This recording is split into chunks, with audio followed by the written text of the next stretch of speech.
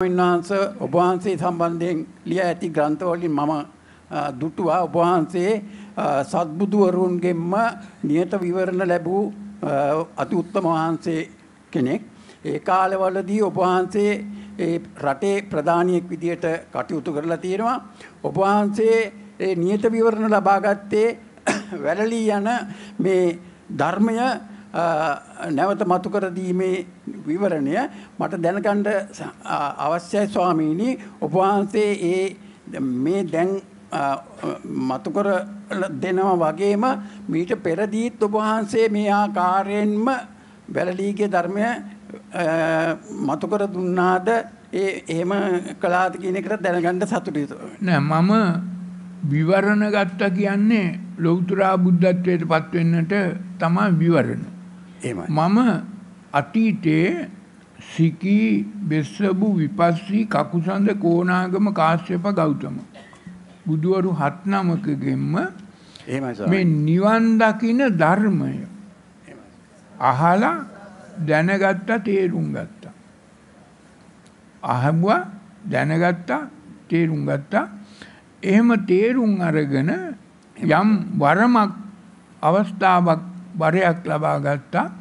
මේ ගෞතම බුද්ධ ශාසනය නම් වූ මේ ප්‍රඥාධික බුද්ධ ශාසනය තුල මේ දහම යටපත් වී ගිය අවස්ථාවක මේ නිර්මල නිවැරදි ධර්මය මතු කළා සියලු කර්ම කාරණා අවශ්‍යතාවයන් මතු කරලා මේ ධර්මය සියලු දෙනාට පොදුවේ දේශනා කරලා කියා දෙනවා. දැන් අපි සතර ස්ථානයේ යටපත් වෙලා තිබුණ බුද්ධ ශක්තිය තියෙන. එහෙමයි ස්වාමීනි. ඒවා මතු කළා. එහෙමයි ස්වාමීනි. ත්‍රිපිටකය වැරදියට අකුරු කඩලා තව නොඑක ආකාරයට විකෘති කළා විනාශ කළා වෙනස් කළා බුද්ධ ഘോഷ සහ බුද්ධ ഘോഷ කරු කොට කරු කොට ගුරු කොට ගත්ත අය වෙනස් විකෘති කළා. එහෙමයි ස්වාමීනි. ඒ වගේම ඒ ත්‍රිපිටකය එංගලන්තේ තිබුණ ධර්මතාවයෙන් අපිට ලැබුණා. එහෙමයි ස්වාමීනි. තේරුණාද? අනිත් පාර මේ සියලු දෙනාට ඔය කියන දේවල් මේ අඩුපාඩු අපහසුකම් සියලු දෙන මේ බුද්ධ දේශනාවේ තියෙන බුද්ධ ධර්මයේ තියෙන වචනයෙන් වචනේ පදයෙන් පදේ මතු කළා කියා දෙන්න ශක්තියක් හැකියාවක් ලැබුණා. එහෙමයි ස්වාමීනි. ඒක නිසා ඒක තමයි මේ මේ දේශනා ප්‍රාතිහාර්ය කියන්නේ. එහෙමයි ස්වාමීනි. නැතුව මේ ඉද්දි ප්‍රාතිහාර්ය හෝ ආදේශනා ප්‍රාතිහාර්ය පෑම බුදුවරයෙකුගේ හෝ බුද්ධ ශ්‍රාවකයෙකුගේ කටයුත්තක් නෙමෙයි. ඒ වගේම මේ ධානය ලැබලා අභිඥා ලැබලා ඉද්දි ඉස්සිවරු වෙලා මේක කරන්නත් බෑ. එහෙම කරපු මිනිස්සුත් හිටියා. ඒ වගේම දැන් මේ බුද්ධ ශාසනය තුල ඔය නොඑක ආකාරයකට වැරදි පැතිවලට ගිය මිනිස්සු තමයි හිටියේ. ආගම් මක් හැටියට මේ බුදුහාමුදුරුවන්ගේ නාමයෙන්ම බුද්ධ ආගමක් හදාගත්තා. හැබැයි මේ බුද්ධ ආගම හැදුනේ මේ හෙළබිමේ මේ සිව්වැලේ තුල නෙමෙයි. මේ බුද්ධ ආගම හැදුනේ ඉන්දියාවේ මහායානික මහා සාංගික නිකාය හැටියට ආගමක්. එහෙමයි ස්වාමීනි. ඒ වගේම මේ නිකාය ભેද නිසා අද මේ බුද්ධ ආගමත් ආකූල ව්‍යාකූල වෙලා නොයෙකුත් වැරදි පැතිවලට හැදලා තියෙනවා. එහෙමයි ස්වාමීනි. තව නොයෙක් ආකාරයට.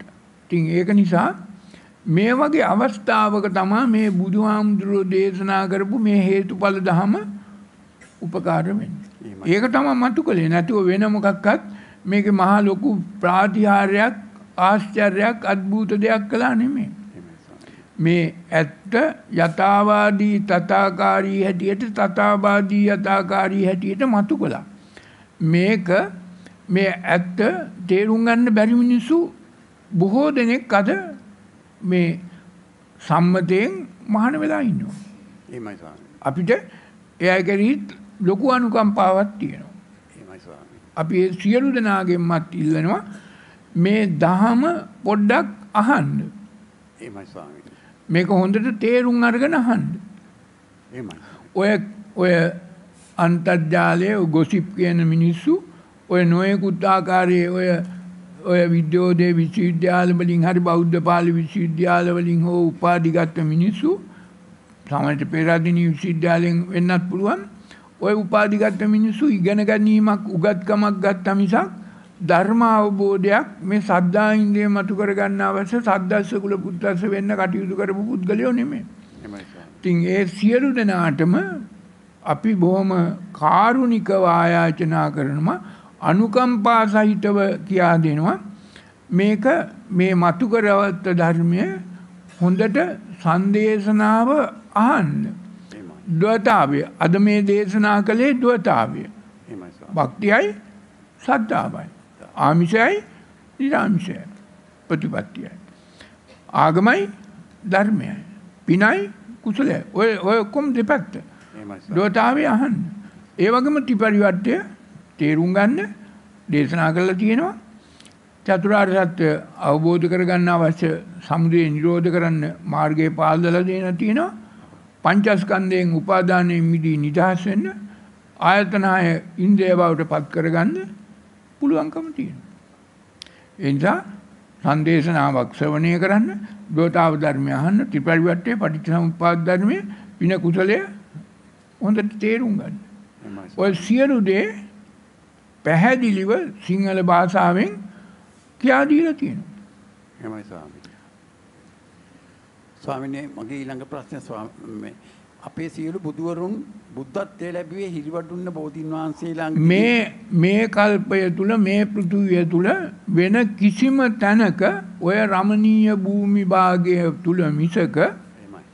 වෙන කිසිම තැනක ලෞතුරා බුදු කෙනෙකුට ඔය නික්ලේශී තත්වයට පත් වෙලා ඔය විතරාගී විතදේශී විතමෝහි තත්වෙලා බුද්ධ ශක්තියට අනුගත වෙන්න බෑ. හේතුව මොකද? අර අතීත බුදුවරුන්ගේ මනෝමය කායන් සියල්ල තියෙන්නේ බුද්ධ ශක්තියට අනුගත වීමේ හැකියාව ශක්තිය තියෙන්නේ එතන. නැතුව අනුරාධපුරෙත් නැහැ, දල්ලා මාලිගාවෙත් නැහැ, පොළොන්නරුවෙත් නැහැ, සිතුල්පව්වෙත් නැහැ, කතරගමත් නැහැ, කිරිවේරෙත් නැහැ. තියෙන්නේ ඔය. රමණීය භූමි භාගය තුල. ඔබ වහන්සේට නිරෝගී සුවයක් වේවා කියලා ප්‍රාර්ථනා